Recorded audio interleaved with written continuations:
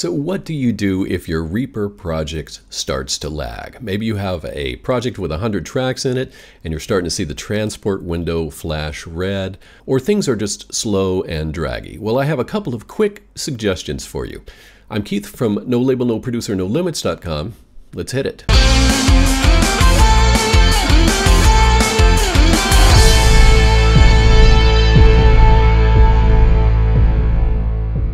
So if you have a project with a lot of tracks, perhaps a lot of virtual instruments and a lot of effects in it, sometimes those start to lag in Reaper, although Reaper is very efficient. Let me point you to two ways that you can easily solve that.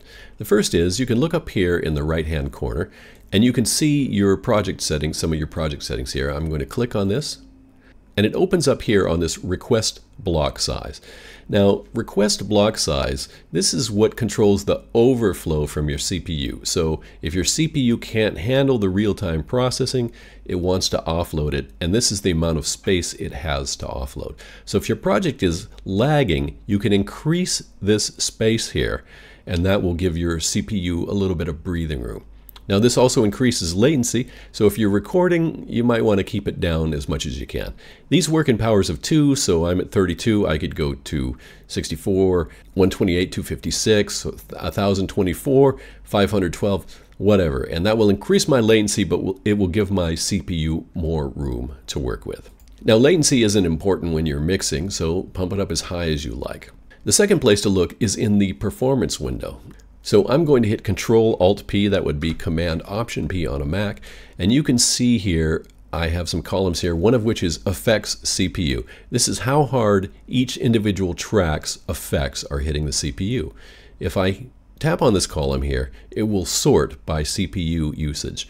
So you can see track one here is called problem track, and it is pulling 11% just by itself. And the rest, the rest of these tracks are typically down here around 2%, although the second track is pulling 4%. So let's just take a look at what we can do with that. I'm going to select all except for the problem track by clicking, holding down shift and then clicking again. And let's hit mute. And notice what happens to these numbers. After a few seconds, they're all down to 0%. So that's one thing that you can do. Let's unmute them. And now I'm going to turn off all the effects. And once again, they go down to zero. Playing back audio tracks takes very little CPU. It's the effects that take the CPU. I help people make better home recordings in Reaper. If that's interesting to you, type home recording in the comments and I'll get you a link. So let's suppose we're okay with all those 2% uh, readings, but this 11% reading is bothering us on track one.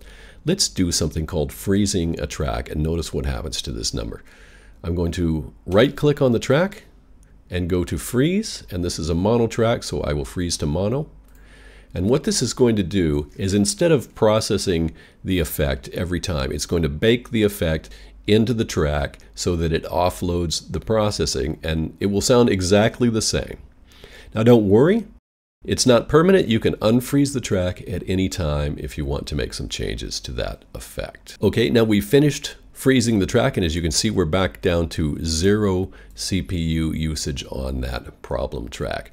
The next video in this series is mixing with clarity and separation. And that's really going to help you get those mixes where everything fits just the way it should fit together. For now, I'm Keith from No Label, No Producer, No Limits.com. Bye bye.